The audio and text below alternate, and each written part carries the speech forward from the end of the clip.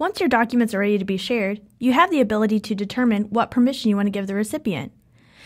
To share these documents, you can click Share over to the right, or you can check off multiple documents and share them all at once.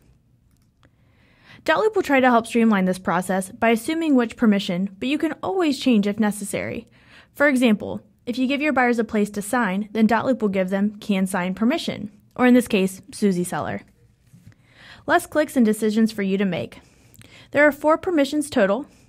Regardless of which permission you choose from, the recipient will be able to view, download, or print, and that will be tracked in the document history. View only allows the recipient to just do those three things we just talked about view, download, or print. Can sign gives the recipient access to any field on the document that you gave them permission to. So in this case with Susie, it is just signature and initial fields.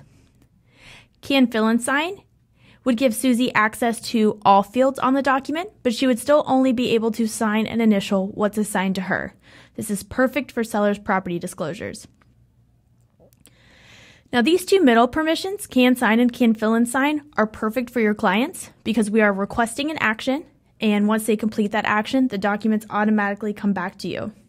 Can edit in private is the permission used when you want the recipient to make any necessary changes to a document without restriction, as well as share to their clients. Any changes made to a previously signed document, by design, will wipe out signatures, ensuring no one is agreeing to term edits made after signatures were placed.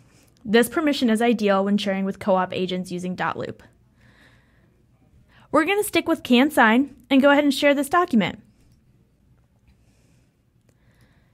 Now, out to the right, it says waiting on others.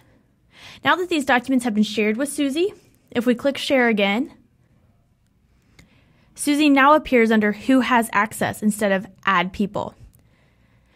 Over here, reshare and more options allows us to check Susie off and reshare to her. That would send her another notification.